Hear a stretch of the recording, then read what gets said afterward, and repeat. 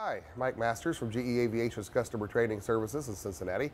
And in this GE90 Maintenance Minute, we're going to take a look at the finer points of removing and installing the Integrated Drive Generator, or IDG. Uh, we won't look at every single little step along the way. Procedure's fairly intuitive. The maintenance manual's written very well. But there are a couple key areas that I would like to highlight to you uh, in which we could possibly uh, uh cause problems resulting in oil loss and things of that nature. One of the most important things I want to point out in this video is the importance of using the lift fixture for the IDG. The IDG weighs about 135 pounds, which is way too much for us to try to uh, manually lift it uh, you know, out of and, and back into position. Uh, the lift fixture has all kinds of adjustments. As I say, we can adjust the, the pitch angle, the roll angle, and everything uh, to get the IDG lined up uh, with the quad ring just right during reinstallation, as you'll see. Uh, I would absolutely not want to try to remove an IDG without this lift fixture. Okay, with everything disconnected and capped and stowed from the IDG, uh, we're ready to begin the actual removal process.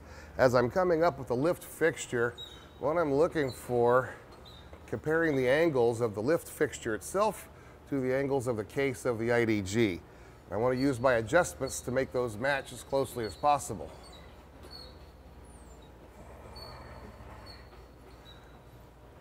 I'm going to use this adjustment to roll the fixture this direction a little bit.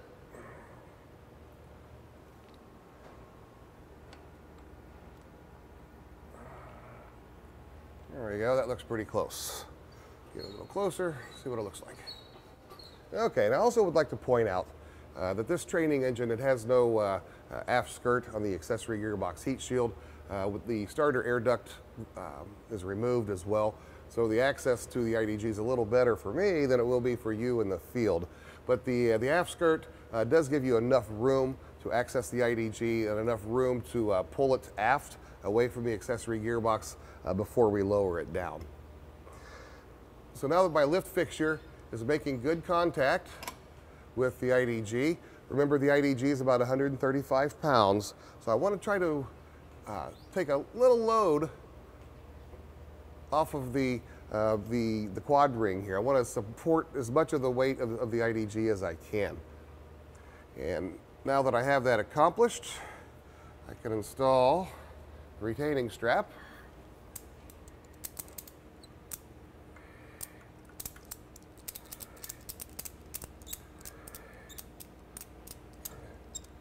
And we'll adjust that nice and snug so the IDG doesn't roll out of its lift fixture. And lock it into position. Okay, and now we're ready to release the quad ring itself. Uh, you'll notice the quad ring has a white index mark right here, and then the case of the IDG also has a white index mark down here. As we loosen our quad bolt, it'll go a little bit by hand until it re-engages. There we go you'll notice the quad ring is rotating. Eventually, those two white index marks will align, showing that the quad ring has released.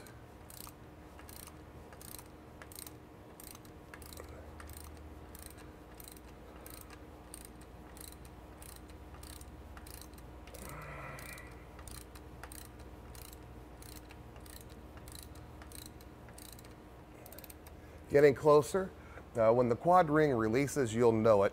Uh, it will actually make a sound, and uh, you'll probably see the IDG jump just a little bit.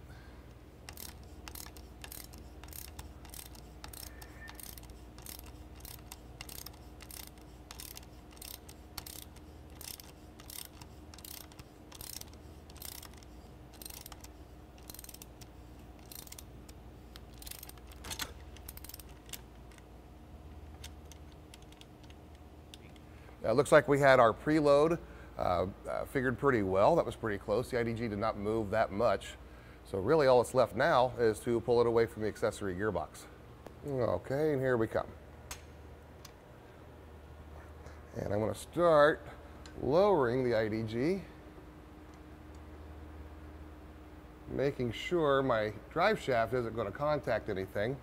Lower it down a little, pull it back a little further, and now I can come all the way down. Okay, we know our drive shaft packings are always uh, one, one use items. Those are replaced every time the component is removed. So uh, we're going to install a new packing, even though it's brand new out of the package. I'm going to give it an inspection, make sure there are no, no defects in it. And then we're going to lubricate it with whatever oil the maintenance manual specifies. Nice uniform coat. And then I'm going to use a piece of discarded O-ring material to, uh, to help me during the installation of the new packing. Looping it through like so. Going to install the O-ring on the drive shaft. There we go. And this is the purpose of this discarded old O-ring material here. We don't really want to roll that new O-ring into position. We'll, we'll store twisting energy in that and we don't want that. So we'll use this piece of discarded packing to sort of loop around. And then as we push the O-ring into position, all the way back into the groove.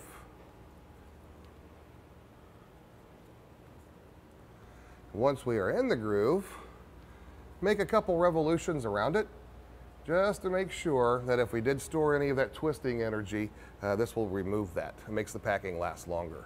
Now one thing you'll notice, this drive shaft on my IDG is quite a bit smaller than what you find on a new uh, production engine IDG. Um, before the engine actually went into production, the, the drive shaft was made larger in the IDG and the, obviously the input shaft of the gearbox made larger as well.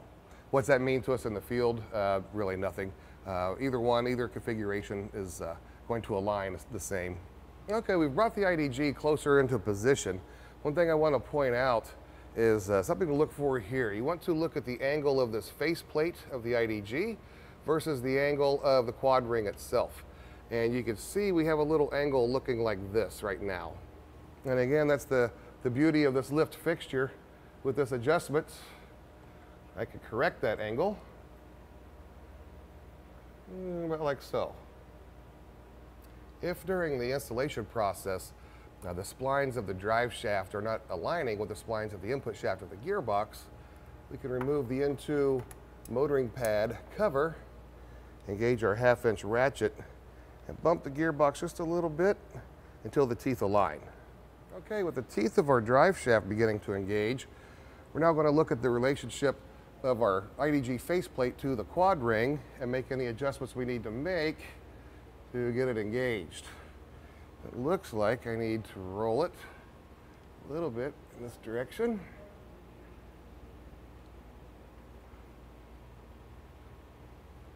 There we go. Closer.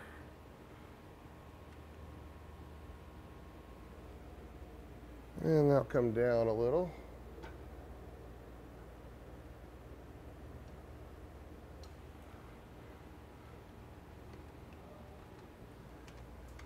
Very, very close. A little bit of hand adjustment here.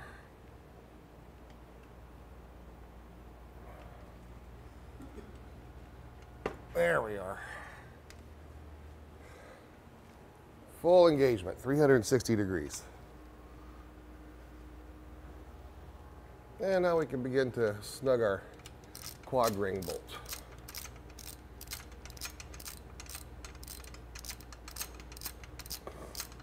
Sometimes as you begin to tighten the quad bolt, uh, you'll get a couple turns on it and uh, then you'll run into resistance. What that means is the IDG is not in perfect alignment in one area or another. It's slightly out of alignment with the quad ring.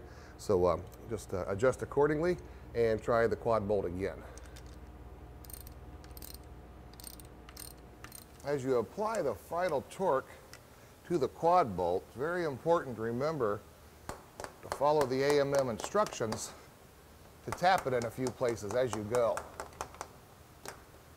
Typically you'll find, as you recheck the torque, you'll find that it's gone down a bit. There it did. We'll do that several times until we can apply the specified final torque and the tapping no longer has an effect. Again, I can't stress enough, uh, the beauty of this tool is it does all the hard work for you. With all these, uh, uh, what I again call the pitch and roll adjustments, if you're patient and you look at the quad ring and faceplate uh, relationship 360 degrees, make adjustments, try it, adjust, try it. Now that takes uh, a lot of the risk out of installing the IDG. Okay, and those are the details of IDG removal and installation I wanted to point out. Hope you enjoyed the Maintenance Minute, and I'll see you next time.